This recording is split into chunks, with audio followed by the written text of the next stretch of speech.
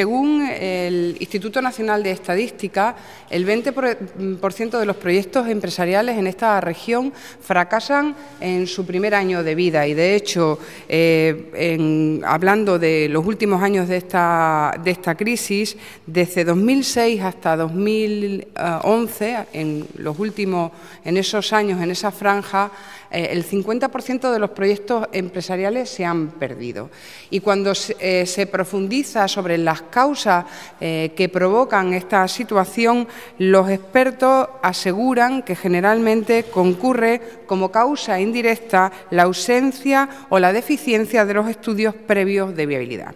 Eso es lo que nos ha hecho desde la Administración no solo reflexionar, sino también actuar y poner en marcha de forma novedosa instrumentos que permitan blindar los procesos o los proyectos empresariales con ayudas. ¿Por qué? Pues porque los empresarios, el que apuesta por el autoempleo, el que decide poner su negocio, el que tiene una pequeña y mediana empresa, normalmente se resiste a reforzar su proyecto empresarial con este tipo de proyectos o planes de viabilidad, primero por su coste y segundo por la dificultad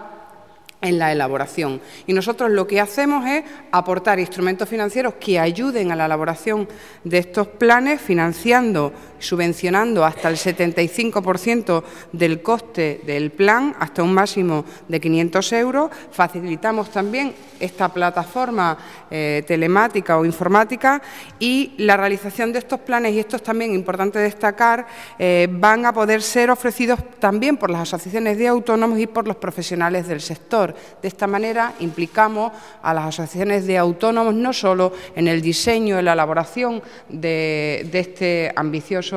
eh, plan de autónomos, sino también en su desarrollo, en su ejecución, en los pasos que se van dando en el devenir de cada uno de los decretos y de cada uno de los proyectos.